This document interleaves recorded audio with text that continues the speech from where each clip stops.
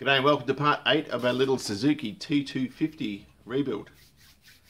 Wasn't supposed to be, I was just going to use the engine and stick it in, the spare engine and ride around and it runs beautifully. But the Kickstarter didn't retract and I knew going into this that if you go splitting cases on an old bike that's 50 years old, you're going to find gremlins and gremlins we found. Uh, not the bike's fault.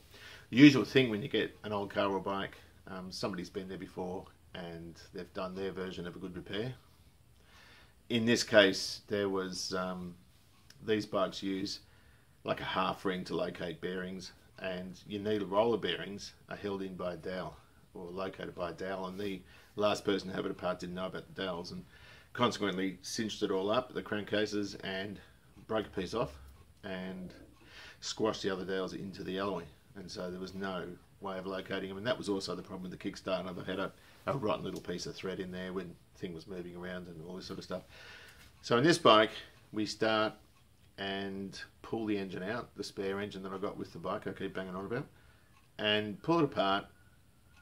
I've repaired the case. I've repaired it the COVID way. I haven't welded it. I've done something else. And even if that doesn't work out being successful, at very worst, you're going to get a small oil leak. It's not a big deal really. But uh, in this one anyway, we finish the case, the lower case, and have it all ready to reassemble. Then in the next video, which will be shortly, uh, we'll put the bottom end together, the clutch in, the side covers, all this sort of stuff, and then that has to sit and wait for the parts to come because one of the parts was a piston kit. And so I want to put that in on the bench because it's just easy to put the circlips on and all that sort of stuff. And then the bike is almost done. So it's only a few more videos and we're out of it. So with that being said, I hope you enjoy. I'm going to pop this out again. That's the problem with the Kickstarter, it just stays down. And I've got to put another spring in there too, the detent's a bit loose. I've taken that off because I wanted to measure the bore. Um, oh, there's fuel sitting there. Um, so, I'm just going to do that and stick it on the bench. Right, where are we up to? We've got the two smoke we pulled apart yesterday. We've now got a really naked bike, which is quite a shame, but it doesn't matter because we're on to bigger and better things. Here's the engine. Um, it's all sort of pulled out and looking fairly sweet. Um, time to pull the bottom off and have a bit of a sticky and see what's going on with that uh, shaft. Right, well, I'm going to take that oil pump off because when I stick him upside down I don't want it damaged at all and the stator and wiring and then I'll throw some toilet rolls at it. I'm very impressed with how clean this thing is inside. Uh, let me just pull these little suckers out. What the hell? Hang on a moment. I wonder if... Oh, the bloody spring's alright. The spring is okay but it's missing the pole. I think it's bent. let me get you closer to have a look. It's kind of bent out. Can you see there? It's sitting proud. I don't know why. Maybe there is some damage. I'm still going to have to take it apart, I think. I'll take that. There's a, a knob thing in there for that spring-loaded bit. There's something up with it. I don't know what it is yet. But it worries me that it's sitting out like that because the other one wasn't. It sort of perched on there really, really well. So I'm not sure what the issue with that is. I can take that drive shaft out. So we'll keep going, I think, and see what we come up with. Well, you are never going to guess what just happened. I've got the toilet rolls there. Can you see the front of the engine? Yes, you can. They're just to protect the pistons. And the reason for that is because um, these pistons were taken out of the other engine, and you're not supposed to use circlips twice. I'm going to take them out. In saying that, they shouldn't even be there in the first place. But I have ordered a second set. I've ordered a, a, well, a new set of one mil oversize, and so I'm leaving them there for now. But look at this. What the hell? It retracts. What the freaking hell is that? And it retracts well. So, what's going on behind here? I've not the foggiest notion what that means. the cranky is stuck in the top case. But it doesn't want to come off. I've got everything unbolted. Someone's used elastic again. Lovely stuff. Um, is that lifting? Oh, it's all glued down. Um, um, um, okay. I just can't afford to drop it, that's all. There's that spring. That's going to be a pain in the ass to do. Let me see, can I grab a piston? Oh, let's turn him over. Have a look at this. I'm hoping you can see this, this fuel over here, so it's over fueling. Right, I think it is. Um, that's all it is. It worries me. Yeah, that's fuel. Um, fuel and oil. It worries me a bit because the crankshaft is supposed to locate. Um, you got some bearing retainer things there, and also those pins here, and it's stuck. It's bonded in the top case. Don't know why. Don't know what that's all about. This thing is so clean. It's nuts underneath there. It's just perfect. It's much, much cleaner. This was the spare engine, remember. It's an earlier model and it's a lot cleaner than the other one was. There's a couple of things though. Someone's been in here and they've messed up. The pin there is flush almost. And you can see it's been sort of smacked into here. Not in where it's supposed to be. So I don't know what that story is. So that itself is true. That I don't know if you can see from where you are. I mean, it's got a bit of a warp in it, but I think it's better than the other one. Speaking of which, there is the other one. The other one's here. Oh, the other one is probably a bit straighter. I just don't know what the story with it is. I'm hoping you can see what I can see. Now, okay, that's the old engine, the original one from the bike we weren't using. Crank's a bit rusty, we've talked about that, and the seal was stuffed on the other side and being glued up. Um, the seal's a little bit harder than the ones that are out of this, so clearly that's better. Now, the other thing that's scary, when I pull these gear sets out, I'll put the ones on the left for the new engine, well the one that I want to use, is it's the same freaking story, where we've got a mark, which one is it? It's not that one, it must be this one. One of them had a mark on it where the... Where did I see that? One of them's got a mark on it where they missed. And it's the same thing. And I can't get those out. The only thing I can think of doing... That one's probably alright. That just pokes out. But I've got buckleys of getting them out. The only thing I can think of doing, there's two, there's two ways around it, using that casing, but the thing that worries me about that is this casing is a lot newer than this one. Made it in uh, a completely different time, that's in wrong, they go on those. Made it a completely different time, and so there could be tolerance differences between them, particularly if you use those gear sets. They might mesh slightly differently, you know, I guess in one way it's not so bad. It was a Honda, I wouldn't even dream of it because the Hondas use bearing shells. They don't use roller bearings, so the cases are matched. Where you have to sort of think these probably matched as well to a degree. But the only thing I can think of doing is just dropping a tiny bit of weld on there and pulling the pin out and finishing it and putting it back in upside down, if you know what I mean, to give it that protrusion. It only needs to protrude. I tried to get these out and I couldn't move them. But it's a real bloody worry. I don't know why they've done it like that. I mean, it's obviously a mistake. So, you know, the original one, the starter worked because obviously it was pinned in the right spot. The starter failed on this one because it's got a bloody thread in there.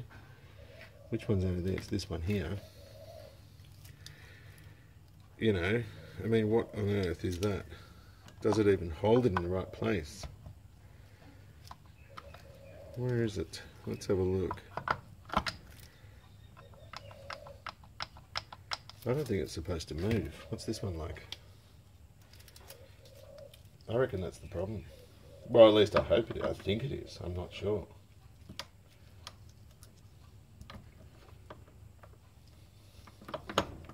Oh, that moves as well. There's a circlip goes on the outside anyway.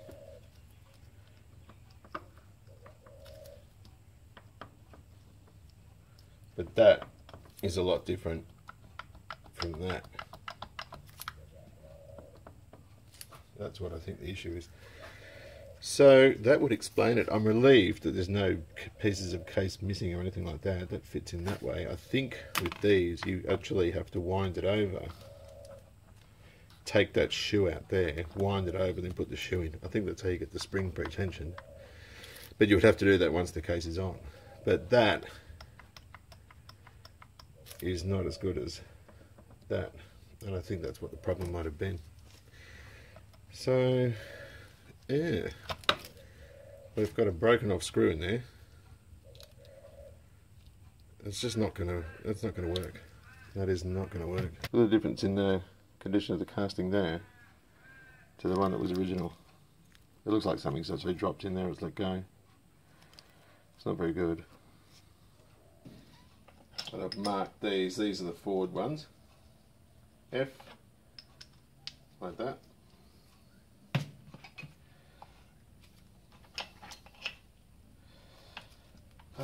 They're so slippery.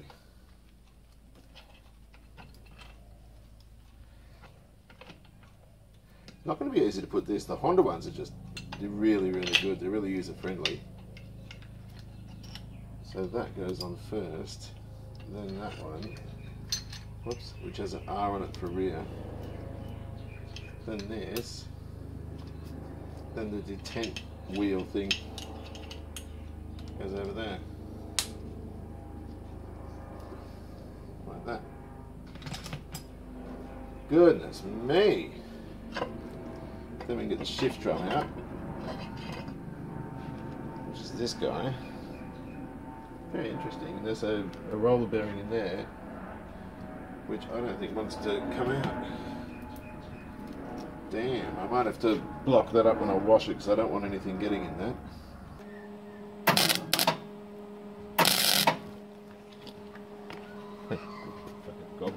Too. It doesn't do a damn thing.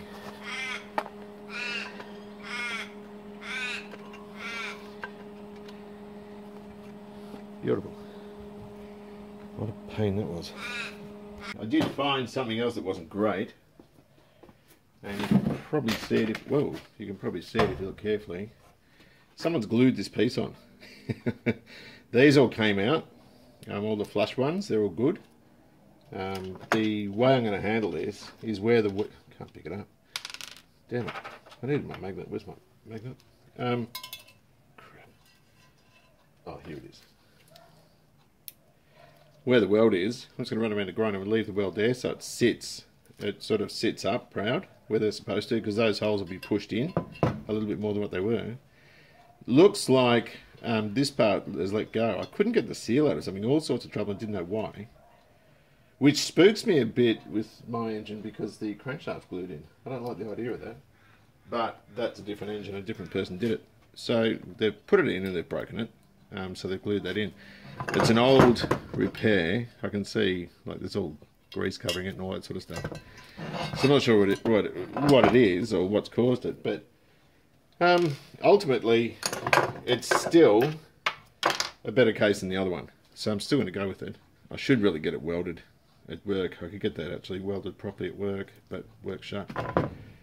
And once we built the engine, or put the engine back together, I should say, uh, we've got buckleys getting um, in in time, if you know what I mean. I grabbed it with some multi grips and it just fell off. That's all the powder from the gloves. And it's just... Okay, so now it's time to clean up a bit. I'm using this one in the spare engine. That's got a much better foot on it because that doesn't mean sliding around doing the wrong thing. Um, so that's out of that's out of the original bike engine, which is that one. Uh, this one's out of this one, but it's got some wear there and it's sort of flared out at the end. I've taken that stupid bit of thread out, which was jammed in there, and that never worked properly. So that can just sort of stay in there. Um, and basically, I'm just going to stick the lid on. And just chuck a few bolts in and then that can sort of sit over yonder. It doesn't really matter. Um, yeah, I'm not putting the gear sets in because they're going for a holiday overseas. I might need to refer to it though, um, to you know try and remember how things go. But I think I'm right for now. All right, so we've got a February 2016 version of the Sunday Age. I'm just going to grab a bunch of. Oh look, coronavirus.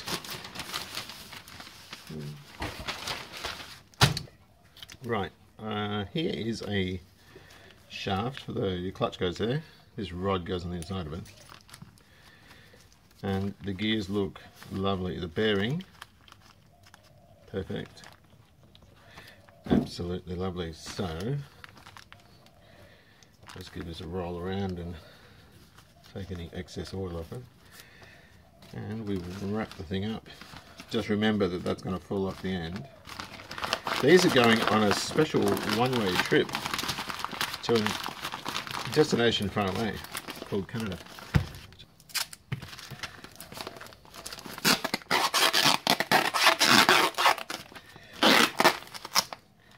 And I'll wrap them in bubble wrap and all that sort of stuff. Um, they can go.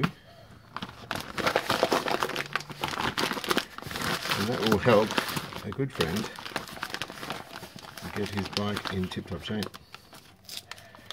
The other thing I'm going to do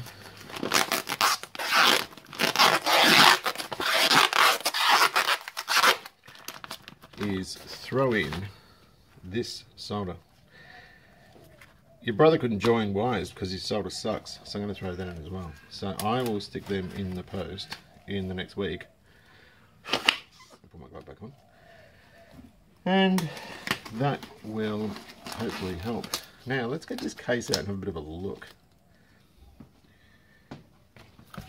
Right, here's that case. It's a good case, but a bit of a sad case. We've got these all extracted. That's good. These ones here were all cool, so I'm sweet with that. It's filthy. We don't care because we're going to clean it right up.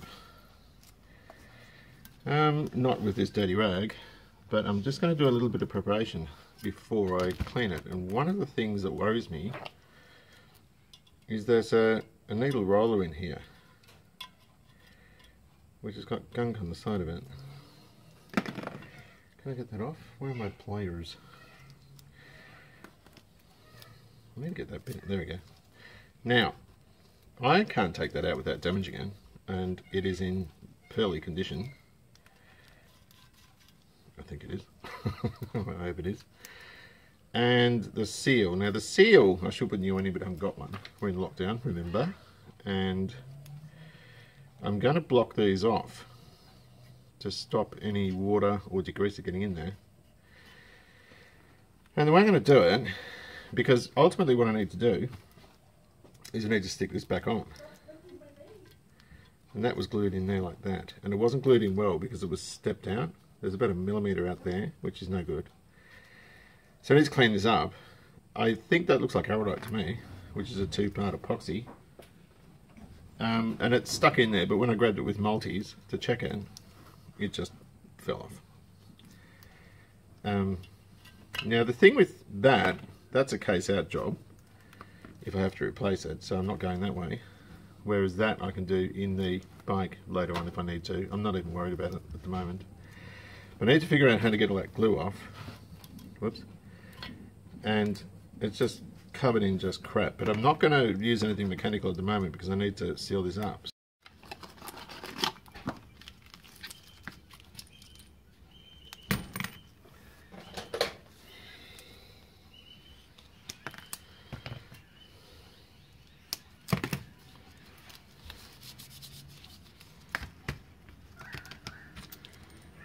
I'm going to make these bigger actually. Oh, come out.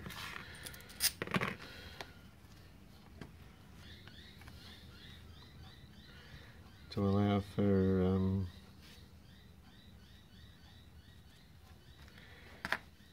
and that one. Same sort of thing. I'll just make it a bit bigger. I always keep bicycle tie tube around because it is really handy. You never know when you're going to need it. But when you do, you're always glad you've got one lying around. So I've got a wad punch here. I'm just going to smack these holes in. I'll do it outside. Okay, so the idea of bolts and tie tubes is to seal these these things off. I've made the hole deliberately too small. Um, just so I can, actually which was which? Was that there? I think it was. No, that's too small. Oh, this is supposed to go in from the back, isn't it? Like that. Mm -hmm. So then, um, I just don't want muck in this bearing. It's actually in very good condition. Sort of center it and grab a spinner and tighten him up. Because, well, as I said, I think I said, did I say? I just don't want to have to wait for bearings to come in from overseas. If I knit the bottom end together, I think that'll be alright. That'll certainly seal at the back. And the other one, the gear shift one, um, I have to do from the front because the washer to fit around the back is smaller. I mean, this isn't really correct what I'm doing. There are rules of this sort of thing, but I'm not taking them to the nth degree. The circumstances call for no. I've just repositioned this one just to give it a bit better seal. Now that should seal, and it should seal quite well. Um, so now we can just go around picking out bits of grot like that. Look at all this. And it's gritty. I can feel it. It's really, really gritty. But when your sprocket's sort of running in an area like this, you're going to get all the muck from the road, the chain, you know, all this sort of other stuff. So I'm just going to go around, dig out all this snot. This is quite interesting. I've found this out. I've dug the adhesive away from there. I don't know if you can see that. That's the hole for that pin. Um, and remember, these are all sort of sunk in and, and squashed into the case. This one's got some sort of plug in it, um, where that one is unaffected. But what I think's happened is they've, they've, they've, they haven't lined the pins up and that's just broken that piece off. I think that's the reason for it. And they've gone, oh dear, and glued it back on. I think that's what's happened, which is just the worst it's also missing a piece from behind there so when I glue it I'm going to have to just put a bit of extra adhesive in there or something but it's just the crummiest crummiest bit of um, automotive work really really poor um, but just getting this off this isn't great adhesive. It's coming off reasonably easy. I think it I think it's Araldite. I really do. I'm sure it is. It looks like it. And it's sort of, I'm just being gentle with it, but it's just peeling off, which is kind of what we wanted. Whoops.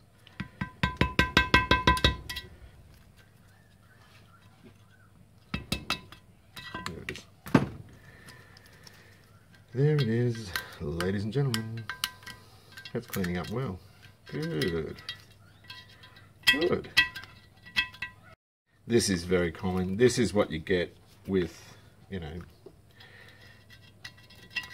with people tinkering with their bikes and cars. I don't know how many times I've seen problems. Look at the XC. I mean, there was nothing wrong with that shell before.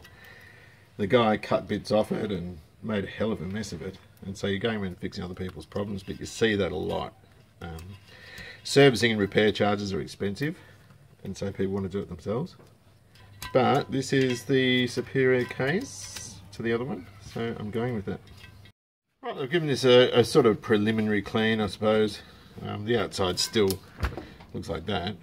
Um, that's why I go to the Hydroblaster, because the outside will look just as good as the inside when you go and see a person like that. They're just really good at what they do. Um, I wonder how these little sealing gigs did. See if anything falls out of here like greasy water. Because if they do, I'm just going to have to use a pressure washer. Uh, sorry, air, compressed air, to sort of evacuate any snot out of there. Oh, that's sealed. I've got to dry this properly overnight. I'll take it inside and stick it over a heater. One of the... Oh, that's stuck. Yeah, and it didn't get in there either. You can see that. Bit of dirty muck from the original... Uh, when it was running. I don't know what you can see. My equipment here is rubbish. Now, the, the thing is, you can see, any bit yellowy coloured stuff there is the old adhesive. There's a bit in there too, which I didn't get out. I'll just hassle that with a scriber. Um, this bit here cleaned up quite well. We'll have to clean it with proper solvent, that sort of stuff too. But there are a couple of bits missing from it. Um, and they didn't come off with the adhesive. I had a look at the adhesive. Hang on, where are we? So, yeah, it's not satisfactory. And there's a crack there too, just in that piece there. But And also the part underneath is missing. That was all sort of clagged up with glue. So, yeah, whatever we do isn't going to be perfect. It really does need to be welded. Uh, but I just, I can't get to a welder. And I've never welded aluminium, so I don't really want to experiment with this. Right, well, I didn't film this, I probably should have. I've got a Dremel with a engraving attachment on it. And I've drilled a hole and pinned this. There's no adhesive on at the moment, it's just pinned. Nice and sturdy. It can move around. I've got it dead level there. It's probably not even 10 thousandths out there, although the crack, it's been filed to allow room for adhesive before.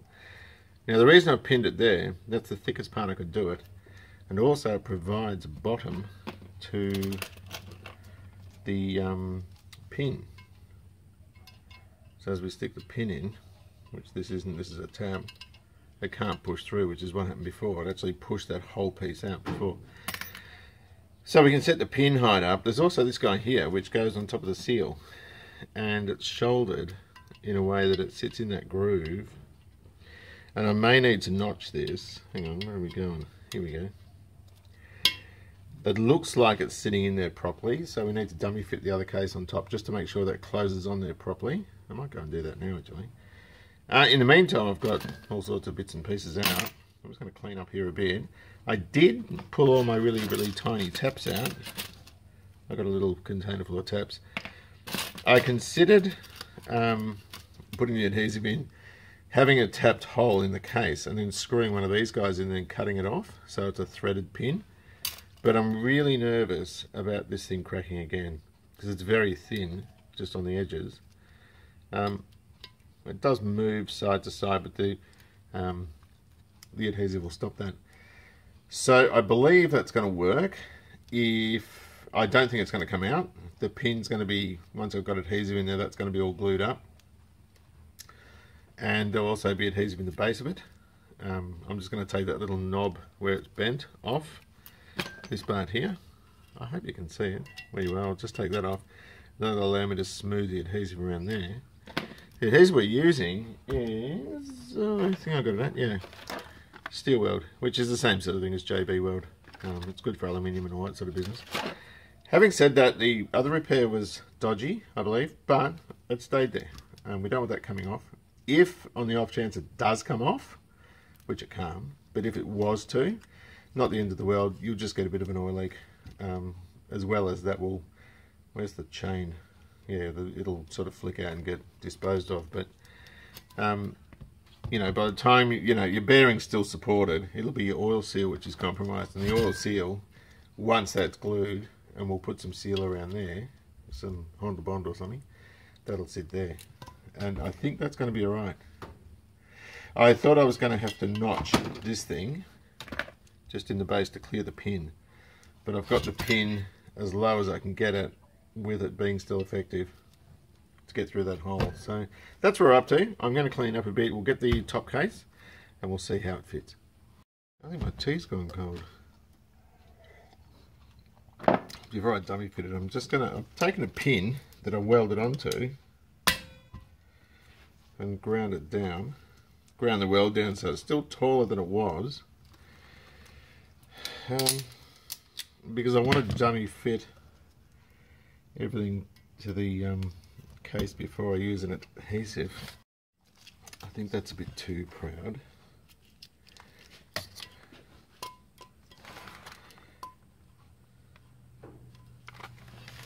It's only about an eighth of an inch. Oh no, it's not. How deep's the hole in the gear? In the bearing?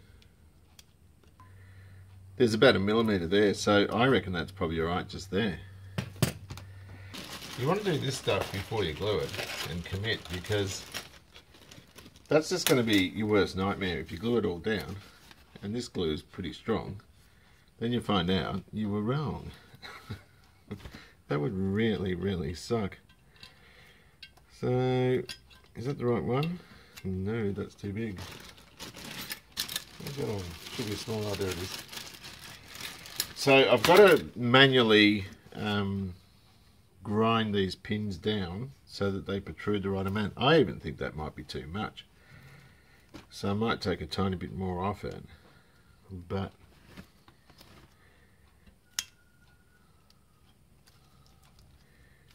that's not bloody right. Eh? Oh, there it is. Okay. Because they only just stick out a tiny bit. Anyway, let us take a look. Right, now that's sitting up. Now it's not. Oops. That looks spot on actually. That looks really spot on. The, the issue with this is this crank has been adhered in and the, the rubber is so good on the seals, it's really good. And if I pull that out, it's going to pull the rubber casing off. So I have no choice but to put it in this way unless I want to really, you know, go nuts rebuilding the thing and I don't. The other thing is, the best thing to do with that is to weld it. But with COVID, I can't get into work and they've got all these brilliant welders there but the problem is, if I go, if I wait until COVID is finished, it's going to be next term as a minimum, which is October, and those guys are going to be run off their feet. So I probably won't see it till Christmas, maybe even after Christmas, and I'm not prepared to wait. I just want to make sure it's going to close up. Uh, so it's quite heavy. I'm just going to have to pick it up like this. Um, so I'm holding the crankshaft. Where the fuck does it go? Oh, it goes in there. And I want to see it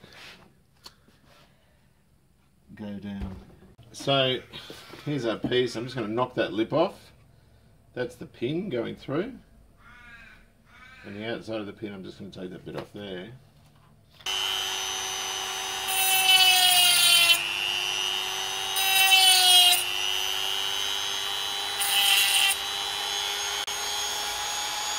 Sounds good enough. Hopefully you can see. Radio. I've got the um, these parts all washed in thinner. And I've got a Q-tip or a cotton tip, whatever you want to call it. And some fresh, clean, shiny thinner. And I'm just gonna get any muck off like that. Now this is going to be tricky because when I put the adhesive in, some of it's going to go into that channel. So I am going to put that washer in and that'll sort of give it some more support, even though it's not meant to be in there. Ugh. Before I get too carried away with the glue, I'm going to suck down some more tea. Mm -hmm. Got a problem with that stuff. I don't watch I don't drink too much of it because it becomes a little bit unhealthy we don't have to, I'm not going to heat it up, heat it up. I'm just going to dry off any thinner to make sure that it's nice and clean and dry. Hopefully this extension lead puts up with the current draw.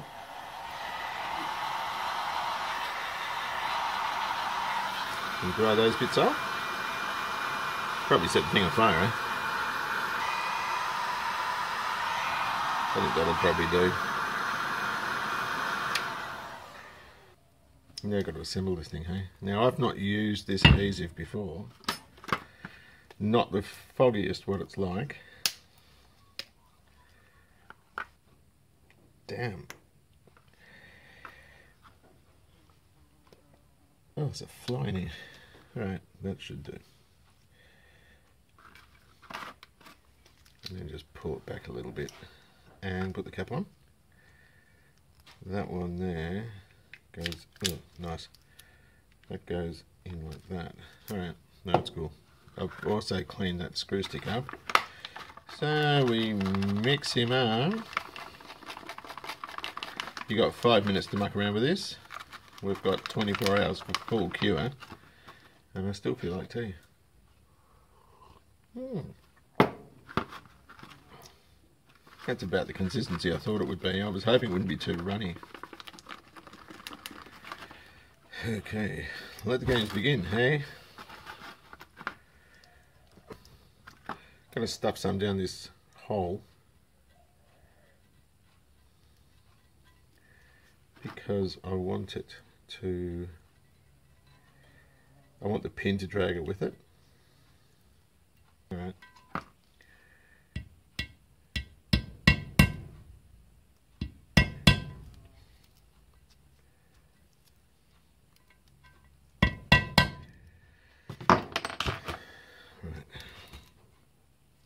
So far so good.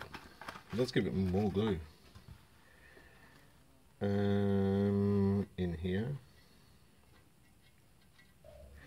Uh, this stuff appears to be going off already.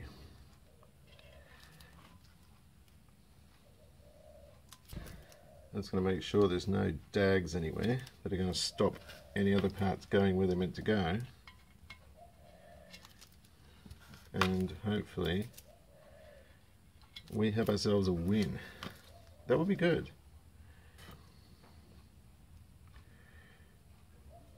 Yeah, it's gone off.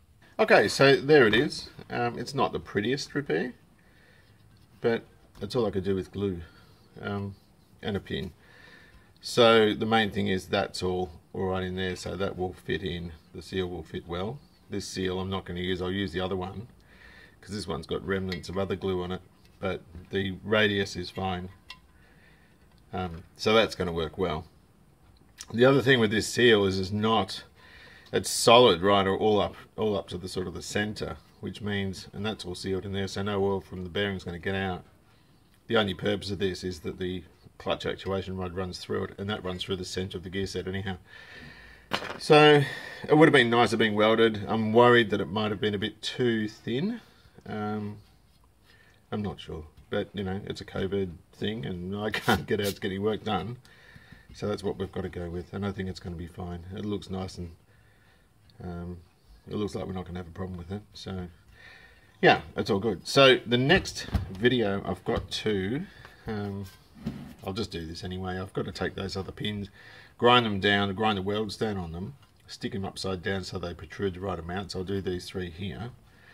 And we'll put the engine together and I think after that we'll just chuck it back in the bike uh, it'll be alright so on that note thanks very much for watching. Take good care of yourselves and I'll see you soon